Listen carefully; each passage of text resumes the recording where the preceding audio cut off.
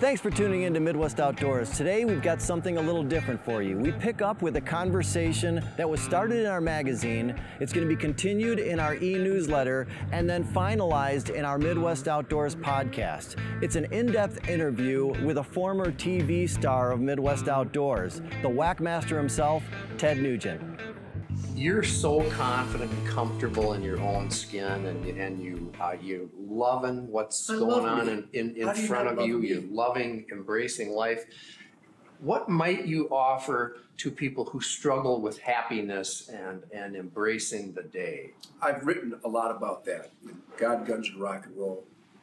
And I've written about that recently on my Facebook. What a great communication source that is. I Yeah. think I think this social media is the greatest campfire that has ever been built. It's not easy to attain total confidence and happiness too and total happiness because not everybody can swan dive into their two favorite passions in life and sustain themselves and provide for their families as I have with rock and roll and hunting. You don't have to make a living at your number one passion to be absolutely happy. And I'll give you examples. I got buddies who are welders and carpenters and mechanics and plumbers and, and technicians. My heroes. Those are my heroes. And they, they might rather have been a guitar player, or maybe they'd rather have been a, an Olympic swimmer. I don't know, because they've never mentioned it to me. Because not only are they reasonably fulfilled in their vocation, but they live within their means, save for a rainy day. My God, repeat this to your children. She does Earn your own way. Be the best that you can be. We're already on our way to happiness. Live within your means. Do you really need to give that money to that person for that product?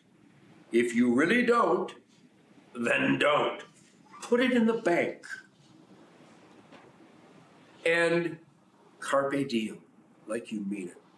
Seize the day like you mean it. And these guys, some of them, their welding is their music.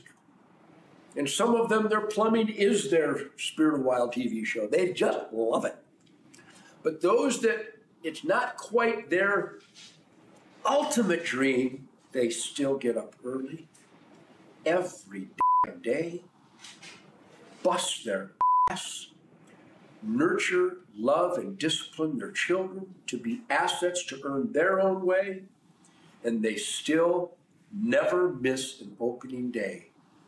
But the guys who aren't quite at the highest of highs are still intoxicated with happiness and fulfillment and gratification because they know they're doing the best that they can be. i like it so that uh, that's But as well put as i've ever heard It starts with being clean and sober. Every minute you're drunk, every minute you're high will keep you from that mountaintop.